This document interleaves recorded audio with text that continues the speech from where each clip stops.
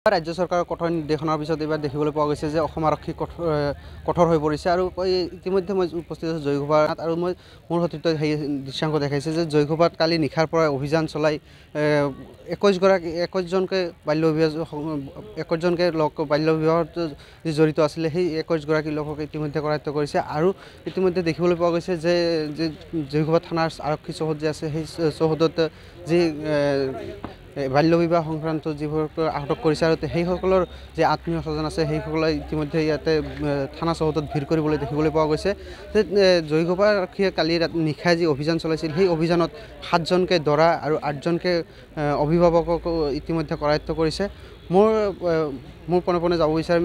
ইয়াৰে এজন স্থানীয় বিশিষ্ট সাংবাদিক তেখেতৰ পৰা কিছু কথা জানিব বিচাৰিম। আচলতে যে বাল্য বিবাহ বাল্য বিবাহলৈ বাৰ বাৰ সতৰ্ক কৰাৰ পিছতো তাৰ দেখিবলৈ পোৱা গৈছে যে জয়গোপা অঞ্চলত বহুত বাল্য বিবাহ হৈ আছে। এই এই ক্ষেত্ৰত কি ক'ব আচলতে? যে বাল্য বিবাহলৈ আমি বহুবাৰ হয়তো সজাগতা সভা বা অমুক তমুক কিবা কিবি কৰা হৈছে। তাৰপিছতো দেখিবলৈ পোৱা গৈছে জয়গোপা অঞ্চলত বাল্য বিবাহটো বেছি হৈ আছে।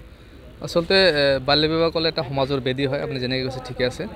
এইটোৰ কাৰণে আমচুৰ পৰা আৰম্ভ কৰি বিভিন্ন দল সংগঠনে আমি জয়গ প্ৰেছ ক্লাব এই অঞ্চলত যাতে বাল্য বিবাহ সংগঠিত কৰা নহয় তাৰ কাৰণে আমি দীৰ্ঘদিনেই এইটোৰ বিৰুদ্ধে আমি লাগি আছিলোঁ আৰু বহুত সজাগতা সভা অনুষ্ঠিত কৰা হৈছে। কিন্তু মানুহ হয়তো শুনা নাছিল।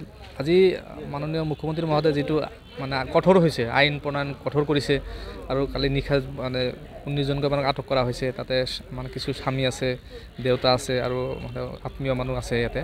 হয়তো আৰক্ষীয়ে সেইটো পদক্ষেপ গ্ৰহণ কৰিব আইনমতে যিখিনি হয়। তাৰ লগতে কথা হৈছে যাতে ইয়াৰ লগতে কোনো জড়িত নিৰীহ মানুহ যাতে হাৰাশাস্তি হ'ব লগা নহয় সেইটো চাব লাগিব আৰু যিখিনি মানুহ প্ৰকৃততে দোষী সেইখিনিক আইনমতে ব্যৱস্থা গ্ৰহণ কৰক। আৰু এইটো এটা ভাল পদক্ষেপ লৈছে মাননীয় মুখ্যমন্ত্ৰী মহোদয়ে ভাল পদক্ষেপ লৈছে। আৰু এই পদক্ষেপক আমি আদৰণি জনাইছোঁ। পৰৱৰ্তী পৰ্যায়ত এনেকুৱা পদক্ষেপ গ্ৰহণ কৰে নিশ্চিতভাৱে সমাজৰ পৰা এই বাল্য বিবাহ নামৰ যি বেদী আছে এই বেদীটো নিৰ্মল হ'ব। আৰু এই চেগতে মই ৰাইজক এটা আহ্বান জনাইছোঁ আপোনালোকে অকল মুখ্যমন্ত্ৰীৰ ফালে বা আৰক্ষী প্ৰশাসনৰ ফালে চাই থাকিলে নহ'ব।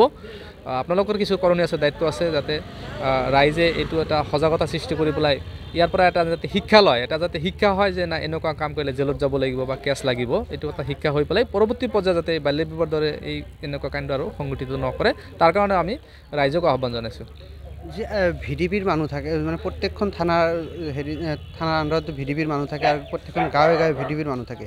এই ভি ডি পিৰ মানুহ থকা সত্ত্বেও দেখিবলৈ পোৱা গৈছে যে এই বাল্য বিবাহটো বা সমাজত যিবোৰ কুকৰ্ম আছে সেইবোৰ বৃদ্ধি পাই আছে। আচলতে ভি ডি পিৰ ছেক্ৰেটাৰীবিলাকৰ দোষ নাই তেনেকৈ। সিহঁতে মানে খবৰটো দি থাকে আৰক্ষীক খবৰ দিয়ে আৰক্ষী এনেকুৱা হৈছে যে বাল্য বিবাহ আমি আমি আমাৰ যিটো অভিজ্ঞতা ফালে কৈছোঁ যে কেইবছৰ অভিজ্ঞতা। বিয়া সংগঠিত হৈছে তাত পুলিচ লৈ যোৱা হৈছে। পুলিচ লৈ গ'লে ছোৱালীবিলাকে কাপোৰ খুলি মানে একদম স্কুলে ছোৱালী নিচিনা ড্ৰেছ পাতি কৰিছে ল'ৰাবিলাক পলাইছে কোনোবা মানুহ এনেকুৱা হৈছে ধৰি লৈ অহা হৈছে থানাত। থানাত ধৰি লৈ অহাৰ পিছতো পিছদিনাখন পুৱা ইয়াৰ পৰা এৰাই গৈছে ইয়াৰ পৰা গুচি গৈছে। গুচি পেলাই পোন্ধৰ দিন বিছ দিন পিছতে সেইগৰাকী ছোৱালী আৰু মানে মনে মনে সেই ল'ৰাৰ ঘৰত গৈ পেলাই সংসাৰ পাতি আছে। এতিয়া তেনেকুৱা উদাহৰণ বহুত আছে। আচলতে এইটো মানে এটা এটা মানে এনেকুৱা ধৰণৰ হৈছে এইটো আপোনাৰ ইছলামী স্বভাৱ এটা হৈ গৈছে মানুহৰ যে মানে যিকোনো প্ৰকাৰে বাল্য বিবাহ সংগঠিত কৰিব লাগিব লুকাই চুৰ কৰি হ'লেও বাল্য বিবাহ কৰিব লাগিব যাৰ কাৰণে আজি এই মানে ঘটনা সংঘটিত হৈ আছে। অভিযান যিহেতু চলিছে এইটো চলি থাকিব বুলি আমি গম পাইছোঁ। আৰু মোৰ মতে চলি থকাটো ভাল মানুহ যিহেতু সজাগ হ'ব লাগিব। কেইগৰাকী মানুহৰ বিৰুদ্ধে কেছ লাগি জেলত গ'লেও যদি এটা জাতি বাচি যায় এটা এটা মানে বৃহৎ অঞ্চল বাচি যায় এই বেদী নিৰ্মূল হয় তো সেইটো কৰাটো আচলতে উত্তম কাম হ'ব। হয় এইদৰে দেখিবলৈ পোৱা গৈছে জয়ঘোবা থানাত যে যি সাতজনকৈ দৰা আছে সেই সাতজন দৰাৰ যি আত্মীয় স্বজন আছে সেইসকলে ইতিমধ্যে থানা চৌহদত মানে ভিৰ কৰি আছে।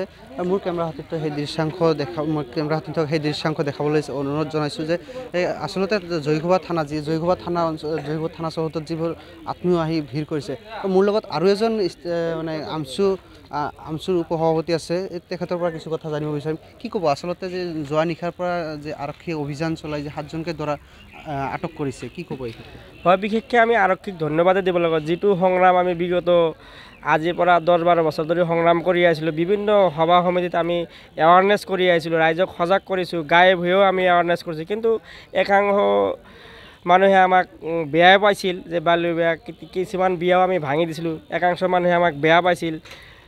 তেখেতসকলে আজি আমাক ধন্যবাদ দিছে। যিসকল যিবিলাক বিয়া আমি ভাঙি দিছিলোঁ আপোনালোকে ইতিমধ্যে বিভিন্ন বাতৰি সম্প্ৰচাৰ কৰিছে। আমাৰ জৈৱ অঞ্চলতো নহয় বিভিন্ন অঞ্চলত আপোনালোকে বাতৰি সম্প্ৰচাৰ কৰিছে। যিসকল মানুহ আমাক বেয়া পাইছিল সেই মানুহখিনি আজি আমাক ভাল পাইছে। কাৰণ আমি মুখ্যমন্ত্ৰী তেওঁক ধন্যবাদ দিব লাগে। ইমান ডাঙৰ এটা পদক্ষেপ তেখেত হাতত লৈছে। আৰু মই ভাবোঁ আমাৰ জৈৱ অঞ্চলৰ পৰা বাল্য বিবাহ সম্পূৰ্ণৰূপে নিষিদ্ধ হৈ যাওক। তাৰ কাৰণে আমি সকলো ৰাইজক আহ্বান জনাইছোঁ আৰু সকলো ৰাইজে এই ক্ষেত্ৰত প্ৰশাসনক সহযোগ কৰিব লাগে। আৰু মানে জয়ঘোপা অঞ্চলটো সংখ্যালঘু অঞ্চল আৰু এই সংখ্যালঘু অঞ্চলত বাল্য বিবাহটো বেছি হয়। আৰু যে চৰকাৰে যি কঠোৰ স্থিতি লৈছে সেই কঠোৰ স্থিতিৰ পিছত মানে জয়ঘোপাত বাল্য বিবাহটো নিৰ্মল হ'ব বুলি ভাবে নেকি আপুনি? হাণ্ড্ৰেড পাৰ্চেণ্ট হাণ্ড্ৰেড পাৰ্চেণ্ট হ'ব। আৰু মই এই ক্ষেত্ৰত মই বিভিন্ন দল সংগঠনক আহ্বান জনাইছোঁ আমাৰ ভি ডি বিৰ যিসকল কৰ্মকৰ্তা আছে তেখেতসকলকো আহ্বান জনাইছোঁ। গাঁৱৰ যিবিলাক মুখিয়াল আছে বা মেম্বাৰ আছে প্ৰেচিডেণ্ট আছে সকলোকে মই আহ্বান জনাইছোঁ সকলোৱে ব্যক্তিয়ে প্ৰশাসনক সহযোগ কৰক বাল্য বিবাহ বন্ধ কৰাৰ ক্ষেত্ৰত। তেতিয়া চাব হাণ্ড্ৰেড পাৰ্চেণ্ট আমাৰ জৈৱ অঞ্চলৰ পৰা বাল্য বিবাহ বন্ধ হ'ব। আৰু মই আৰক্ষী প্ৰশাসনক আৰু এটা আহ্বান জনাইছোঁ এই ক্ষেত্ৰত যিসকল ব্যক্তিক কৰায়ত্ব কৰিছে তাৰ মাজত যদি কোনো নিৰ্দোষী মানুহ থাকে তেখেতলোক যাতে অযথা হাৰাশাস্তি নকৰে তাৰ কাৰণে মই আৰক্ষীকো আহ্বান জনাইছোঁ। আৰু যিসকল প্ৰকৃততে দোষী তেওঁলোকক কঠোৰতম কঠোৰ শাস্তি দিব তাত আমাৰ ক'বলগীয়া একো নাই। কিন্তু নিৰীহ মানুহখিনিক যাতে হাৰাশাস্তি নকৰে তাৰ কাৰণে আৰক্ষী প্ৰশাসনক মই আহ্বান জনাইছোঁ।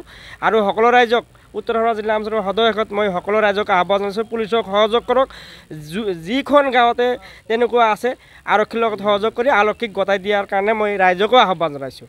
হয় মোৰ লগত আৰু এজন ভি ডি বিৰ মানুহ আছে তেখেতৰ পৰাও কিছু কথা জানিছোঁ আচলতে আপুনি কোনখন গাঁৱৰ ভি ডি বি চটপাৰা ৱেষ্টৰ মুখৰ গলাটো ঠিক নহয় কিনা কিমানজন আপোনাৰ আপোনাৰ আপোনাৰ ইয়াৰ পৰা কিমানজন মানুহ লৈ আহিছে? মাৰ মোৰ মাত্ৰ একজন আহিছে চটপাৰাৰ পৰা। বাকী তাৰমানে ৰাস্তা নাই চটপাৰা ৱেষ্টটো বেয়া জেগা ৰাস্তা নাই।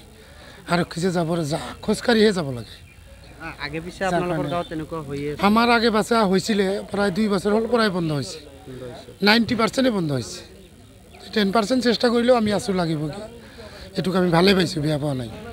হয় এইদৰে দেখিবলৈ পোৱা গৈছে জয়ঘোপা অঞ্চলত যে জয়ঘোপা আৰক্ষীয়ে যি ৰাতি অভিযান চলাই যে সাতজনকে দৰা আটক কৰিছে আৰু আৰক্ষীৰ ফালৰ পৰা জানিব পোৱা গৈছে যে জানিব পৰা গৈছে যে এইদৰে ধাৰাসাৰ অভিযান চলি থাকিব। পৰা আৰ্চিতানৰ report D A news plus.